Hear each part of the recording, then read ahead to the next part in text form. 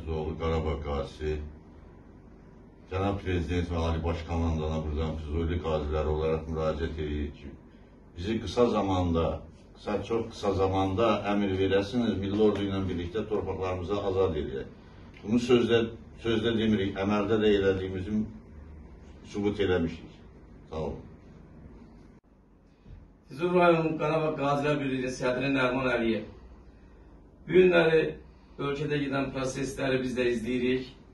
Cəbhə bölgəsində erməni quldurların, azğınların elədiyi çirkin əməlləri görürük.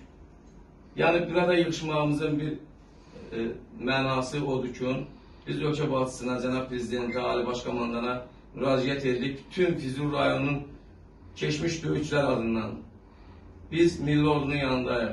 Cənab Prezident, sizin hər hansı bir əmriniz olarsa, köhnə döyüşçülər milli ordu ilə bərabər torpaqlarımızı işğaldan azad etməyə canımızla, qanımızla hazırıq. Nəcəfov Üzeyir, e, ehtiyatda olan kəşfiyyatçı snayper Aprel Qasiyem, 2-ci qrup Qarabağ əlliyəm. Mən də öz növbəmdə bütün Füzuli rayon əlləri adından cənab prezidentə müraciət edirəm.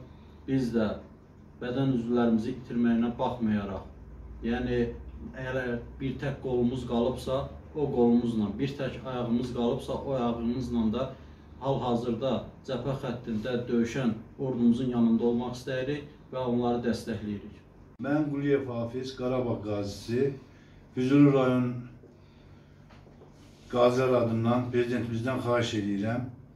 Biz qazilər hazırıq o milli ordumuzun arxasında, həmişə prezidentimizin milli ordumuzun arxasındayıq.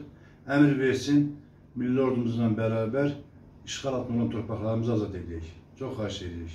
Məmməd Əvəzədə, Füzuli rayonu, Qarabağ Əllər Qazisi, Cənab Prezident, biz bir ayağımızın anda lazım olsa döyüşə getməyə hazırıq. Ağayev, Füzuli rayon qazisiyəm. Hal-hazırda cəbhə bölgəsindəyik və cənab prezidentdən, Ali Baş Komandana komandana xahiş edirik ki, bizə əmr versin, döyüşə gedək.